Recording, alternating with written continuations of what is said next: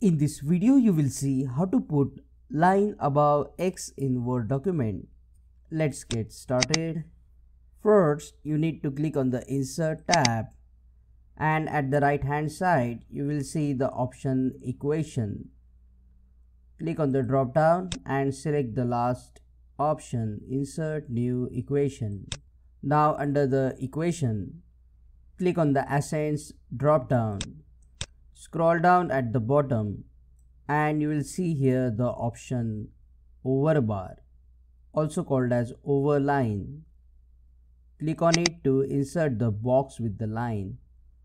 Now to type x under this line click on the dotted box and type x. By default this x is in italics so select the x and to remove the italics just click on ABC text and this will remove the italics. Click on that like button, comment below and let me know if this video solved your problem. Subscribe and press the bell icon to support the channel. Thank you.